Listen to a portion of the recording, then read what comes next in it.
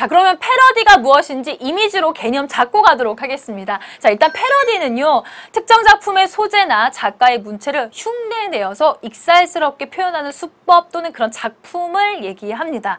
자, 그래서 우리 광고에서도요. 패러디 광고 이런 것도 많이 볼 수가 있고요. 또는 패러디 문학 작품 이렇게 얘기를 하기도 하죠. 우리가 본 이 어린 왕자라는 작품도 패러디 문학에 속할 수 있는 것이고요. 자, 그렇다면 우리 패러디 광고 하나 보도록 하겠습니다. 자, 화면 보시면요. 만해의 페르라티유의 정원이라고 하는 명화를 패러디한 컴퓨터 광고다라고 보시면 돼요. 자, 이렇게 한 것이 바로 패러디입니다. 작가의 그 특정 작품의 소재, 작가의 문체에 흉내낸 것이다라고 보실 수가 있고요. 자, 그러면 이제 문학 작품으로 한번 적용해 보도록 할까요? 자, 김춘수의 꽃이라고 하는 굉장히 유명한 작품이죠. 내가 그의 이름을 불러주기 전에는 그는 다만 하나의 몸짓에 지나지 않았는데 이름을 불러주었을 때 꽃이 되었다. 굉장히 유명한 이 시를 장정일 시인이 패러디했습니다. 라디오 같이 사랑을 끄고 켤 수 있다면 이라고 하면서 내가 단추를 눌러주기 전에는 그는 다만 하나의 라디오에 지나지 않았다.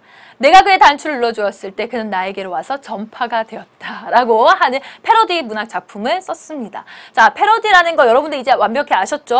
학교에서 수행평가 하실 때도요. 어떤 유명한 시 작품을 패러디해서 작품을 써봐라 이렇게 하는 수행평가를 내주실 수도 있어서 여러분들이 아마 많이 들어봤던 개념일 겁니다.